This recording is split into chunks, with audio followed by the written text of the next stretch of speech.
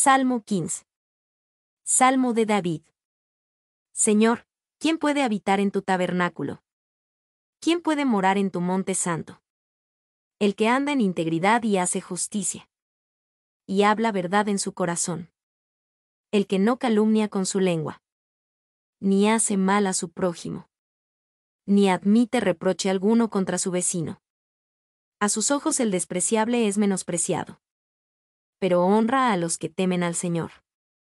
Aunque jure en detrimento propio, no cambia. No presta dinero a interés. Ni acepta soborno contra el inocente. El que hace estas cosas nunca será sacudido.